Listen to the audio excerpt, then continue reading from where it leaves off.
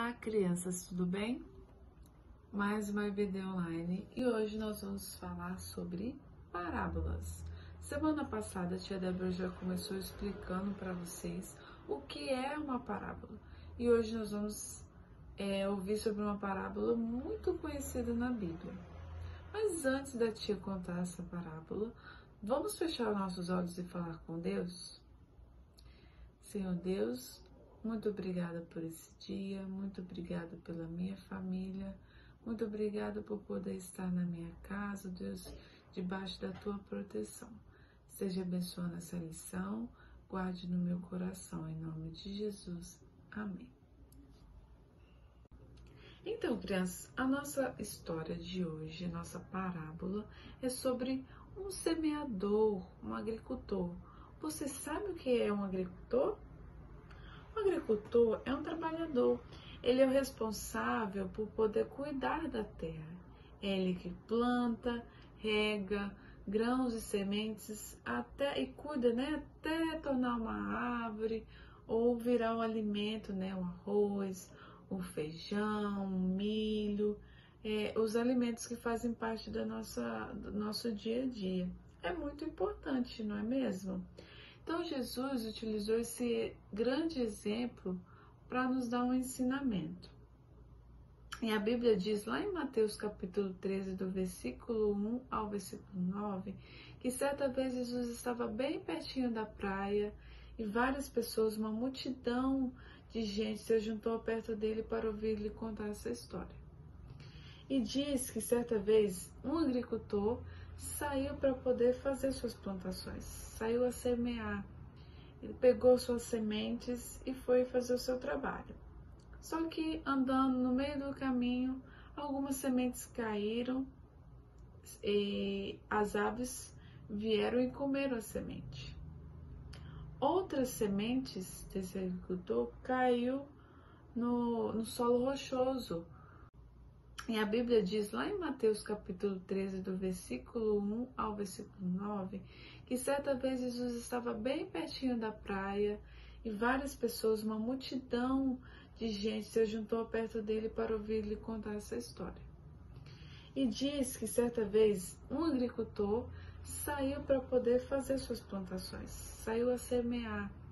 Ele pegou suas sementes e foi fazer o seu trabalho. Só que andando no meio do caminho, algumas sementes caíram e as aves vieram e comeram a semente. Outras sementes desse agricultor caiu no, no solo rochoso. Solo rochoso tem pouca terra. A plantinha até nasceu, mas como ela não tinha espaço para poder crescer, criar raízes, quando veio o sol muito quente, ela acabou morrendo. Outras caiu entre espinhos e os espinhos, deixando elas tão sufocadas que elas não conseguiram nascer nem crescer. Outras sementes caíram em terra boa. Essas sim, essas sementes que caíram em terra boa produziram frutos, produziram plantas, produziram árvores muito bonitas. Mas você sabe dizer o que Jesus quis contar com essa história? Depois que Jesus terminou de contar essa parábola, os discípulos foram conversar com ele. Ele disse que a semente representa a palavra de Deus e o solo é o coração do homem. Aquelas sementinhas que caíram à beira do caminho é, representa aquelas pessoas que não querem ouvir a palavra de Deus. Elas têm um coração é, duro, não querem ouvir de, é, de Jesus, ouvir falar de Jesus.